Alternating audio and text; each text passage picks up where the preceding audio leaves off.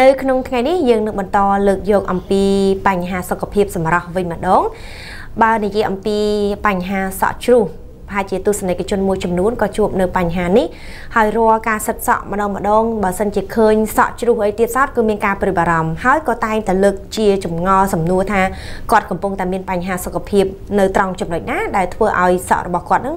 កំពុងតែមានការជ្រុះជាបន្តបន្ទាប់នោះនៅក្នុងថ្ងៃនេះយើងនឹងលើកយកអំពីប្រធានបទតកតងទៅនឹងការជ្រុះសក់ដោយបានការអញ្ជើញចូលរួមពីសំណាក់ កញ្ញាវិជ្ជបណ្ឌិតឯកផានារីឯកទេសស្បែកនិងសម្ផស្សនៃ Clinic EK ស្បែកនិង Laser សូមអនុញ្ញាតជួបជាមួយនឹងកញ្ញាវិជ្ជបណ្ឌិតដូចតទៅចាសូមជម្រាបសួរកញ្ញាវិជ្ជបណ្ឌិតសួរចាចាសុខសប្បាយចាសុខសប្បាយធំធំចាខាងពីកវិញ សុខសប្បាយដូចគ្នាមើលថាសម្រាប់វិញពីមួយថ្ងៃទៅមួយថ្ងៃកាន់តែស្អាតទៅស្អាតទៅស័កសមជាវិជ្ជបណ្ឌិតផ្នែកសម្ផស្សមែនតើអូចាអរគុណចែករំលែកជាមួយនឹងវិធីការនីខ្លះ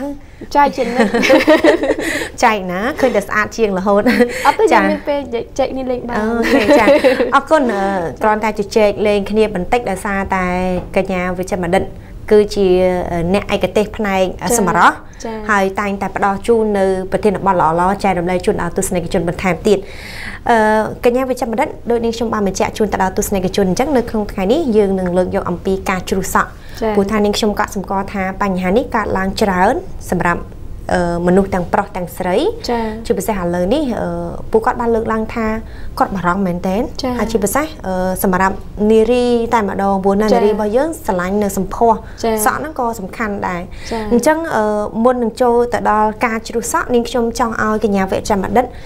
បង្ហាញជូនបន្តិចអំពីដំណើរនៃការលូតលាស់របស់សក់មនុស្សគេធម្មជាតិនៃសក់ណាចាចាចា ចាអញ្ចឹងជាបឋមនេះខ្ញុំសូមជម្រាបសួរទស្សនិកជនទាំងអស់គ្នាដែលជា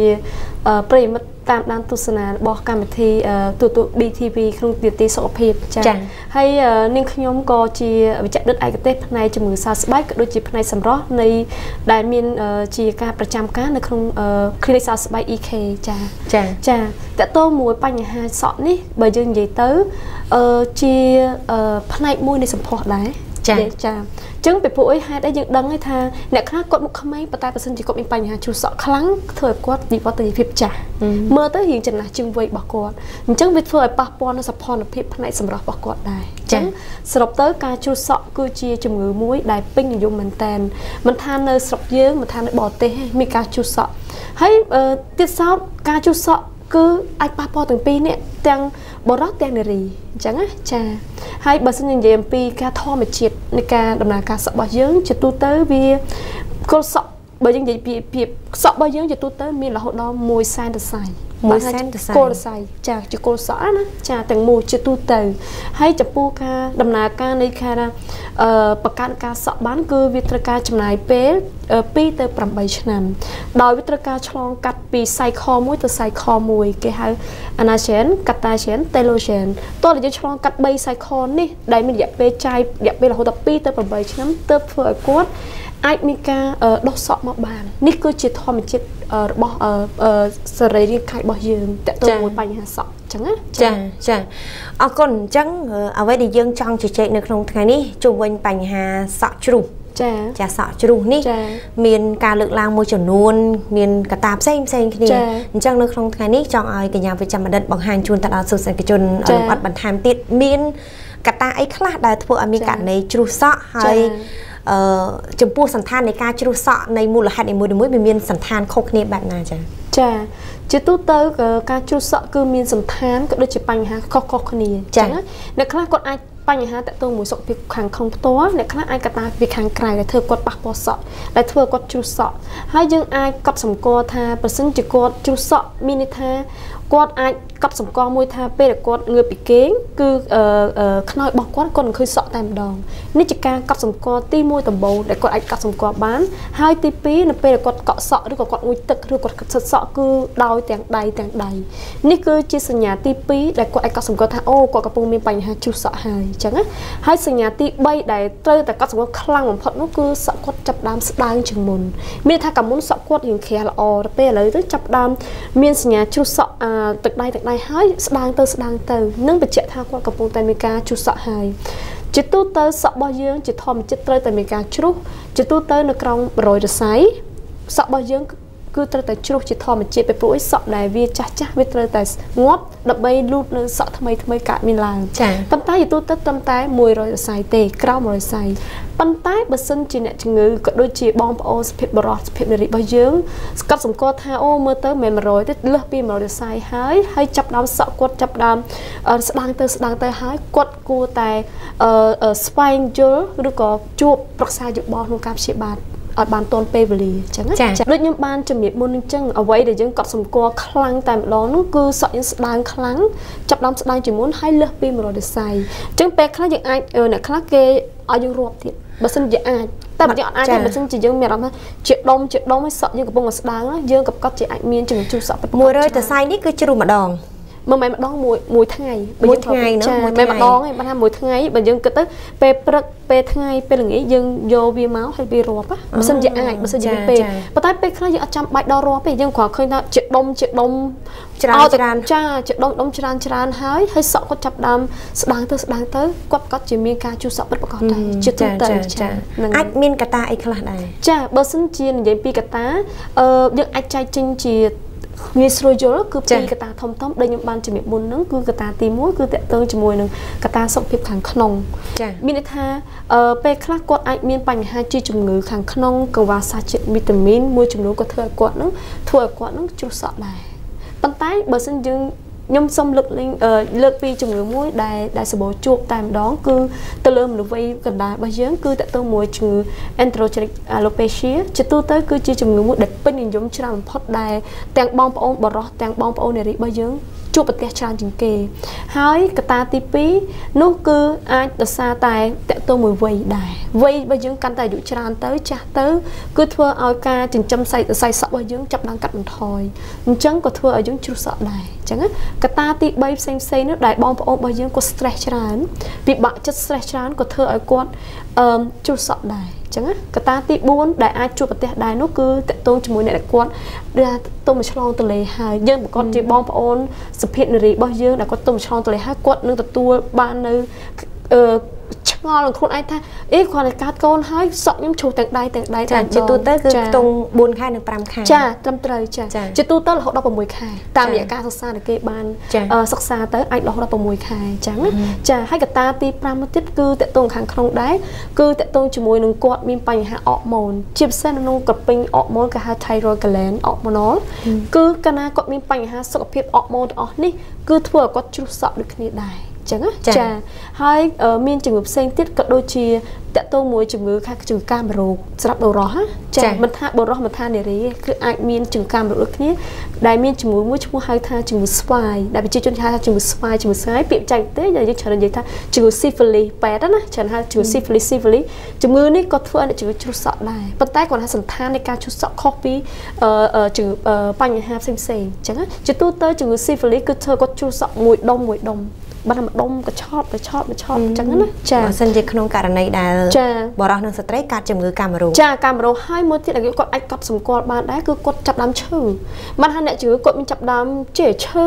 ជារស្គមរីងរៃជាអស់កម្លាំងខ្លាំងហើយឈឺសក់ម្ដុំម្ដុំនេះគឺជាសញ្ញាមួយដែលគាត់ត្រូវមានការស្វែងរកនៅអាចតកតងមួយជាកាមរោគមួយដែលយើងសង្ស័យចឹងណាចឹងគាត់ត្រូវតែអញ្ជើញជក់គូពេទ្យដែរហើយមួយទៀតដែលជាសំបី តែមនុស្សធំមិនយើងថាមនុស្សធំទាំងបរិសុទ្ធទាំងរាជជ្រុះប៉ុន្តែក៏មានជំងឺមួយដែលក៏សម្បូរជួបដែរដែលបងប្អូនម៉ាក់ប៉ាជាពិសេសម៉ាក់ម៉ាក់អត់បានចាប់ដំទៅលើកូនគឺជំងឺ alopecia areata គឺជាជំងឺមួយដែលសម្បូរជួបច្រើនមែនទែនទៅលើកូនក្មេងអឺដូចអ្នកជំងឺខ្ញុំផ្ទាល់គឺគាត់ចាប់ដំជួបតាំងពីគាត់អាយុ2ខួបមកម្លេះសក់អត់ដោះទេដោះមកម្ដុំម្ដុំម្ដុំម្ដុំ ដោះហើយជ្រុះវិញដោះហើយជ្រុះវិញច្រើនកើតបំផុតមែនតើសបោជួបខ្លាំងទៅលើមនុស្ស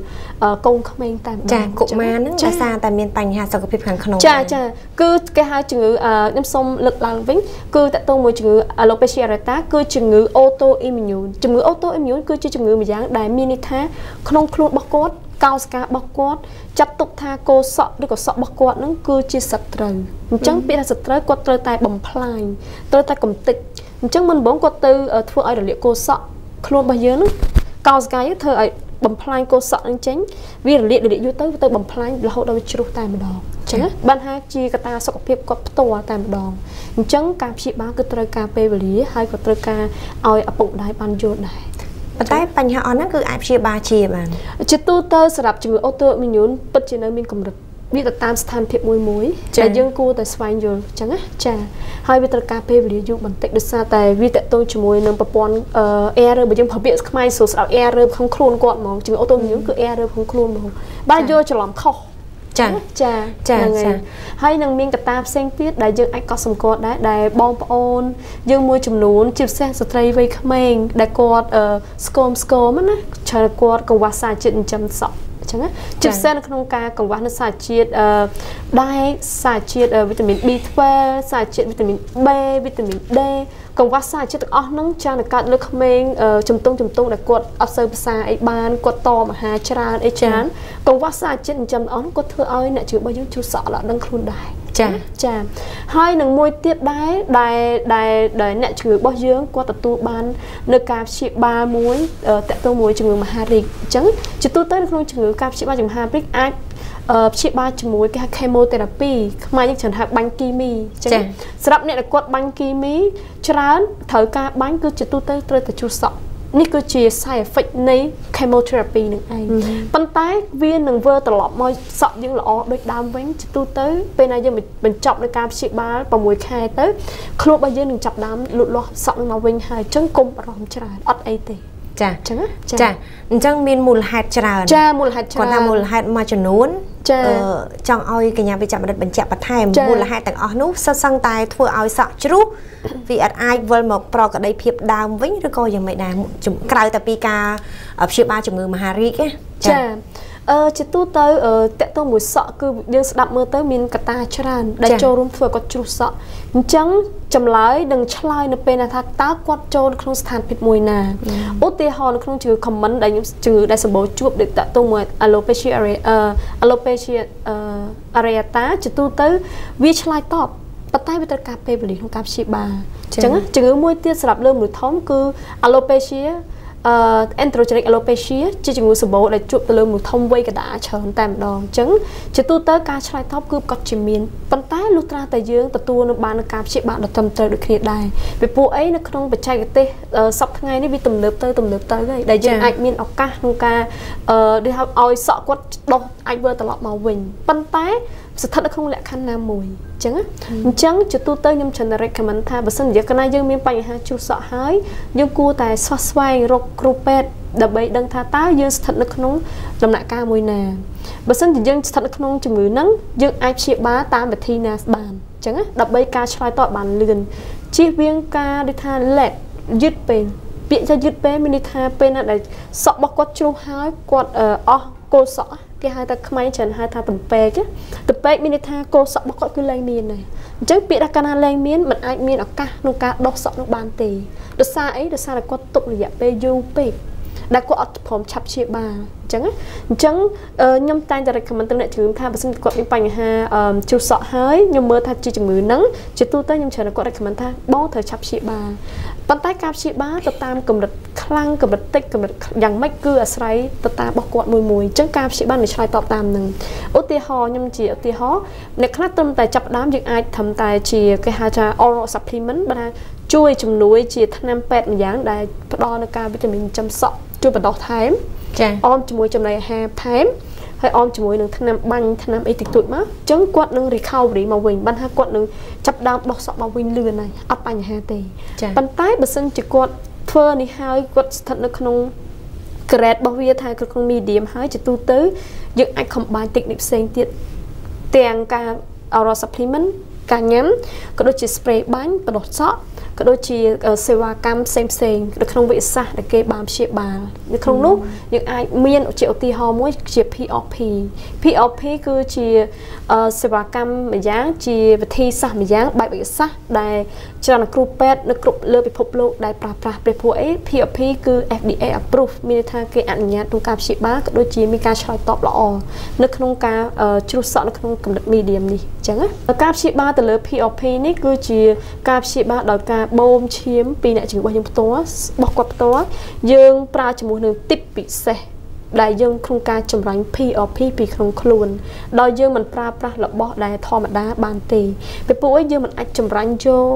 សារជាតិ PRP ដែលមានក្នុងខ្លួនរបស់យើង PRP ពាក្យពាក្យបច្ចេកទេសគេហៅថា platelet rich plasma បាទនេះមានក្នុងយើងអញ្ចឹងណាចាអញ្ចឹងគេបន្ទាប់ពីគេបូមដាក់ទីពិសេសជាមួយរបស់គេនឹងហើយគឺគេមានម៉ាស៊ីនមួយទៀតដើម្បីក្លុក ក្លុកឈាមរបស់យើងនឹងដើម្បីចម្រាញ់យកអា PRP បានជាទូទៅ PRP ឡៃល្អជាទូទៅមានត្រឹមតែ1ទៅ2មីលីលីត្រទេយ៉ាងច្រើនអត់ច្រើនទេប៉ុន្តែពេលយើងបូមឈាមរហូតដល់អាចអឺ8ទៅ10អឺ cc 8 8ទៅ10 cc ប៉ុន្តែយើងយកចំណី PRP បានត្រឹមតែ1ទៅ2 cc យ៉ាងច្រើនចាអញ្ចឹងវាមិនខុសពីទឹក3ទឹក1បើយើងប្រើពាក្យខ្មែរយើងអត់ស្រួលយល់ទឹក3ទឹក1បន្ទាប់មកគេបូមយកអានឹងហើយ យកអាសុតទាំងអស់ហ្នឹងគេចាក់ផ្ទាល់ទៅលើស្បែកក្បាលរបស់គាត់នៅកន្លែងណាដែលគាត់ជ្រុះនឹងតែម្ដងគេហៅថាដាំសក់មែនទេចាអឺការដាំសក់គឺជារូបផ្សេងទៀតផ្សេងទៀតចាប៉ុន្តែនេះគឺសម្រាប់ជួយឲ្យចាគល់សក់របស់គាត់អាចរស់ឡើងវិញចាអឺខ្ញុំសូមបញ្យល់បន្តិចហេតុអីបាន POP ដែល FDA approve ថាជាការព្យាបាលមួយដ៏ឆ្លើយតបល្អជាទូទៅ POP វាមាននៅក្នុងគេហៅថា growth factor ជាកោសិកាម្យ៉ាងដែលមានក្នុងខ្លួនយើងរហូតដល់20មុខក្នុងការជួសជុលកោសិកាក្នុងការបណ្ដុះកោសិកាឡើងវិញហើយនៅបង្កើតសរសៃឈាមសក់ឲ្យកាន់តែដុះច្រើនព្រោះអ្នកខ្លះគាត់ដូចខ្ញុំនិយាយចឹងអ្នកខ្លះគាត់សរសៃសក់គាត់គាត់កង្វះនៅការចិញ្ចឹមសរសៃសក់ចាចាអញ្ចឹងពេលណាយើងចាក់ PRP ទៅគឺវាជួយឲ្យបង្កើតនៅសរសៃឈាមថ្មី គឺបង្កើតឡើងទៅចឹងធ្វើឲ្យសក់របស់គាត់សម្បូរដោយសរសៃឈាមចិញ្ចឹមច្រើនចឹងធ្វើឲ្យសក់គាត់ងាយនឹងត្រឡប់មកវិញបានចឹងណាចាហើយជំនាញខ្ញុំសូមឆ្លើយតបតទៅនឹងការដាំសក់ជាទូទៅបើសិនជាអឺគេហៅថាជាបច្ចេកជាចុងក្រោយមួយដែរ ដែលជាទូទៅបើសិនជាអ្នកជំងឺរបស់យើងអឺដូចថាគាត់ចាប់ដើមសម្រាប់ជាពិសេសគេ recommend សម្រាប់អ្នកតពេកសំទោសអ្នកតពេកមានន័យថាគាត់អត់មានកោសក់ទេអញ្ចឹងគេដាំសក់មានន័យថាគេយកសក់របស់គាត់មួយផ្នែកណាមួយជាទូនៅខាងក្រោយនេះ យកមក split បាទយកមកចម្យកគោសក់មួយមួយគេប្រើជាមួយ microscope មួយមួយហ្នឹងគេយកទៅដាំកន្លែងដែលគាត់មានគោសក់ហ្នឹងឯងតែឡៃទៅពេករបស់គាត់ដាំមួយមួយមួយមួយមួយដូចស្ទូងស្រូវអញ្ចឹងណាបើយើងប្រើពាក្យណាដូចស្ទូងស្រូវស្ទូងស្រូវអញ្ចឹងអញ្ចឹងពេលដាំទៅវានឹងមានឱកាសធ្វើឲ្យសក់គាត់នឹងចាប់ដើមមានអញ្ចឹងណាប៉ុន្តែក៏ត្រូវតែមានការ take care ដែរ មិនមែនធម្មតាដាំហើយចោះទេយើងត្រូវការ take care យើងត្រូវការជួបជាមួយគ្រូពេទ្យដែលមានជំនាញឯកទេសដើម្បីជៀសវាងនៅហានិភ័យកើតឡើងផ្សេងផ្សេងអញ្ចឹងរហូតដល់ថ្ងៃមុននេះខ្ញុំបានអញ្ជើញទៅសុកប្រាំងចូលរួម World Congress MCAS ហ្នឹងគឺរហូតដល់គេប្រើជាមួយនឹង robot ដាំជាមួយនឹងសក់សបនិមិត្តទៀតអញ្ចឹងណាចែកជាបច្ចេកជាចុងក្រោយបងអស់ តែម្ដងអញ្ចឹងគេមានម៉ាស៊ីន robot មួយ គឺវាជាអ្នកវា auto set តែម្ដង robot គឺវាដាំមកយើងហ្មងដាំសក់ឲ្យហ្មងមិនមែនមនុស្សអ្នកធ្វើទេណា robot អ្នកដាំដាំឲ្យហ្មងប៉ុន្តែជាសក់សបនិមិត្តចឹងចាមិនមែនជាសក់របស់គាត់ផ្ទាល់អ្នកជំផ្ទាល់ទេចឹងព្រោះហេតុអីអ្នកខ្លះអីចែកដល់នេះគាត់អស់សក់អលេងឧទាហរណ៍ចាស់ចាតើមានសក់ឯណាឲ្យដាំឲ្យគាត់កើតអញ្ចឹងបានអ្នកវិទ្យាសាស្ត្រគាត់ស្វែងរកនៅបច្ចេកទេសថ្មីគឺសក់សបនិមិត្ត បានមួយម៉ាស៊ីនតែម្ដងចា៎ចាគាត់ថាជានេះរសារសុខភាពអត់មានទេចាចាចាតាមពិតទៅអ្វីដែលចង់ឲ្យកញ្ញាវិជ្ជបណ្ឌិតលើកឡើងអំពីមូលហេតុសំខាន់សំខាន់ជាច្រើនដើម្បីឲ្យប្រជាពលរដ្ឋគាត់ងាយយល់ចាហើយយើងក៏បានដឹងខ្លះខ្លះដែរអំពីបច្ចេកវិទ្យាថ្មីថ្មីទៅលើវិស័យវិទ្យាសាស្ត្រនៅក្នុងការដោះស្រាយទៅលើបញ្ហាជ្រុះសក់បើកាលណាយើងឈានទៅដល់ការ ជ្រុះសក់ហើយយើងនឹងអាចព្យាបាលតាមវិធីសាស្ត្រផ្សេងផ្សេងទៀតប៉ុន្តែមួយវិញទៀតពាក់ព័ន្ធទៅនឹងមូលហេតុផ្សេងផ្សេងនោះគឺវាអាចនឹងដោះស្រាយបាននៅពេលដែលយើងអាចព្យាបាលទៅលើមូលហេតុទាំងអស់នោះចាត្រឹមត្រូវចាចាមួយចំណុចទៀតកញ្ញាវិជ្ជបណ្ឌិតនាងខ្ញុំសូមត្រឡប់ទៅក្រោយបន្តិចអំពីមូលហេតុពាក់ព័ន្ធទៅនឹងចម្ងល់មួយចំនួនរបស់ប្រជាពលរដ្ឋហើយក៏ដូចជាប្រិយមិត្តរបស់ BTV ដែរលោកបានលើកឡើងថា គាត់រាល់ថ្ងៃគឺគាត់ជ្រុះសក់ហើយគាត់គិតថាមកពីគាត់នឹងពាក់មួកសវត្ថភាពរាល់ថ្ងៃវាអាចក្តៅអីវាអាចជាមូលហេតុដែលធ្វើឲ្យគាត់ជ្រុះសក់ដែរទេ ចាអរគុណមែនតើសម្រាប់សំណួរនេះក៏ប៉ុន្តែសំណួរនេះខ្ញុំទទួលបានការសួរយ៉ាងច្រើនហើយមានសំណួរមួយទៀតដែលខ្ញុំនឹងទៀតនឹងនិយាយដែរអញ្ចឹងណាចាតកតងជាមួយនឹងការពាក់មួកសុវត្ថិភាពក៏ប៉ុន្តែបើយើងនិយាយថាជាមូលហេតុដើមចំ100%ទេមិន100%ចម្លើយអាច yes អាច no ពពួកអីពេលខ្លះយើងពាក់ពាក់មួយផ្លែតើមិនមានបញ្ហាកើតចឹងណាតែបើសិនគេពាក់យូរប៉ុន្តែយូរទៅយូរក្នុងកម្រិតណាចឹងណាគាត់ពាក់គ្រាន់ជាការអឺ ការពារសុខភាពយើងទេក៏ពិតទៅឲ្យថាសួរថាឲ្យប៉ះសក់100%ធ្វើយើងជ្រុះទេបើសម្រាប់តាមរយៈការសាស្ត្រមិនទាន់មានការស្រាវជ្រាវថាពិតជាមូលហេតុនោះប៉ុណ្ណែនទេអញ្ចឹងចាប្រហែលជាអាចកតាថាស្រុកយើងក្តៅអញ្ចឹងយើងដឹងថាស្រុកយើងក្តៅវាធ្វើឲ្យការចិញ្ចឹមសរសៃសក់របស់យើងមានការកាត់បន្ថយអញ្ចឹងក៏ជា ជាភ្នាក់ងារមួយធ្វើឲ្យសក់របស់យើង មានការលូតលាស់វាអត់ល្អវាអាចជឿតវារហូតដល់វាអាចវាខូចតែម្ដងអញ្ចឹងណាចាអញ្ចឹងភ្ជាប់នឹងសំណួរហ្នឹងខ្ញុំសូមភ្ជាប់សំណួរមួយទៀតដែលមានបងប្អូនជាច្រើនដែលគាត់តែងតែគាត់មានបញ្ហាជ្រុះសក់គាត់តែងតែដូរសាប៊ូច្រើន ចឹងណាសំណួរនេះក៏សម្បូរជួបហើយក៏មានគេសួរច្រើនដូចគ្នាដែរអញ្ចឹងអឺតកតងមួយការដូរសាប៊ូទឹកសោតចម្លើយដូចគ្នាដែរ yes and no ពេលពួកយើងត្រូវដឹងថាសក់យើងកំពុងតែជ្រុះបើមិនយើងដូរចុះដូរឡើងច្រើនវាធ្វើឲ្យមានការបំរុងរ៉ែក៏ខ្លាំងអញ្ចឹងណាទី1ទី2 កាលណាយើងដូរសាប៊ូច្រើនយើងដឹងថាក្នុងសារជាតិសាប៊ូមួយមួយគឺមានសារជាតិ ingredient ខុសៗគ្នាមិនចឹងចា៎ប៉ុន្តែចៃដន្យអីគាត់ allergy ជាមួយ ingredient ណាមួយនៅក្នុងសាប៊ូរបស់គាត់ប្រើហ្នឹងអញ្ចឹងវាមិនមែនបកកថាធម្មជូរសក់មួយមុខទេវាអាចបកកទៅជាអ្នកខ្លះរមាស់ពេញស្បែកក្បាលចាខូចអាចឡើងចាអាចឡើងជាអង្គែទៅលើសក់របស់គាត់ថាគាត់ដែរឡើងអង្គែសក់គាត់ប្រើសាប៊ូហ្នឹងឡើងអង្គែហ្នឹងក៏អាចអាច possible ដែរមួយទៀតដែលដែលជួបដែរគឺគាត់ គាត់នៅកក់ស្បូហើយគាត់រហូតដល់មានបញ្ហាសុខភាពគាត់ផ្ទាល់គឺ allergy ខ្លាំងតែម្ដងគឺគាត់រហូតដល់គាត់ហាវមុខហាវមាត់ហើយអាចថប់ធងទៀតអញ្ចឹងការដែលដូរស្បូច្រើនប្រភេទអឺលឿនពេកអាចជាហានិភ័យមួយដែលយើងគួរតែយល់ដឹងអញ្ចឹងបើសិនជាយើងចង់ប្រើអីយើងគួរតែសិក្សាថាតើសក់យើងជាប្រភេទអីព្រោះសក់របស់យើងវាមានច្រើនសន្តានឧទាហរណ៍ថាអ្នកខ្លះសក់ប្រេងបាទមើលទៅអងលឹបលោអ្នកខ្លះសក់ក៏ស្ងួត បែកចុងណាជាពិសេសបងប្អូននារីដែលគាត់និយមទីថាអឺដូរពណ៌សក់ណានឹងឯដូរពណ៌សក់ highlight សក់ជាទូទៅគឺការប៉ះពាល់នៃសក់របស់យើងនឹងកើតមានឡើងហើយអញ្ចឹងណាដោយសារតែសារជាតិដូរពណ៌សក់នឹងវាធ្វើឲ្យ destroy សក់របស់យើងដែលធ្វើឲ្យយើងខូចអាចទៅជាស្ងួតអាចទៅជាបែកចុងហើយរហូតដល់អាចទៅជាជ្រុះសក់បានទៀត ចាអញ្ចឹងហើយការគៀបដូចគ្នាដែរការគៀបការមូការផ្លុំបាញ់ spray អីមិនដែរចាអឺ spray បើសិនយូរយូរម្ដងអត់បញ្ហាទេអ្វីក៏ដោយកុំឲ្យតែញយអញ្ចឹងចាពពួកអីសក់របស់យើងបើបើសិនសក់យើងសុខភាពល្អវារឹងមាំរបស់វាដែរប៉ុន្តែបើយើងរាល់ថ្ងៃរាល់ពេលរាល់វេលាជាទូទៅត្រូវតែខូចឯងចឹងឧទាឧទាហរណ៍ដូចថាអ្នកដែលមានកម្មវិធីបងប្អូនយើងសិល្បៈដែលគាត់និយមចូលចិត្តគៀបសក់មូសក់រួយអីច្រើនយើងកលេចមើលសក់គាត់វាពិបាក ឲ្យថាឲ្យលងស្អាតច្រើនតែអាចស្ងួតឬក៏បែកចុងអាចកើតមានរហូតដល់ខ្លះជួសសក់តែម្ដងទឹកដុំទឹកដុំតែម្ដងអញ្ចឹងចាអរគុណចាប្រិមត្តទស្សនិកជនជាទីគោរពនិងជាទីមេត្រីលោកនាងតែបានទស្សនានៅកិច្ចសម្ភារវិនិច្ឆ័យខ្ញុំជាមួយនឹងកញ្ញាវិជ្ជបណ្ឌិតអែផាណារីដែលជាវិជ្ជបណ្ឌិតឯកទេសស្បែកនិងសម្ផស្សនៃ clinic EK ស្បែកនិង Laser ដែលយើងបានជជែកគ្នាច្រើនតាក់ទងទៅនឹងករណីជ្រុះសក់ អំពីមូលហេតុក៏ដូចជាកត្តាជាច្រើនដែលបណ្ដាលឲ្យមានករណីនេះកើតឡើងទៅលើចាសន្តាននៃសក់របស់បងប្អូននារីឬក៏បរោះនោះអញ្ចឹងយើងនឹងបន្តជជែកគ្នាបន្ថែមទៀតនៅក្នុងឱកាសក្រោយដោយសារតែពេលវេលាមានកំណត់ពីកម្មវិធីសូមបញ្ចប់ត្រឹមតែប៉ុណ្ណេះសិនបន្តរងចាំទស្សនានៅក្នុងឱកាសក្រោយនៅកិច្ចសម្ភាររវាងខ្ញុំជាមួយនឹងកញ្ញាជាបន្តទៀតខណៈនេះនាងខ្ញុំរួមនឹងក្រុមការងារសូមអរគុណនិងសូមគោរពលា ដើម្បីកុំឲ្យខកខានទស្សនាវីដេអូថ្មីៗសូមចុច Subscribe រួចហើយចុចលើរូបកណ្ដឹង